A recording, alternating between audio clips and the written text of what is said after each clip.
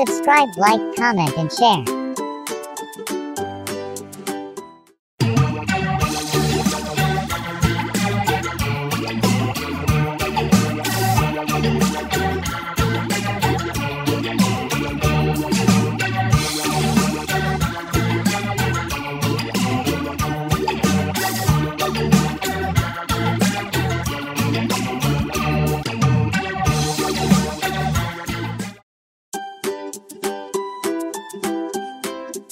Thanks for watching. Please don't forget to subscribe, like, comment, and share.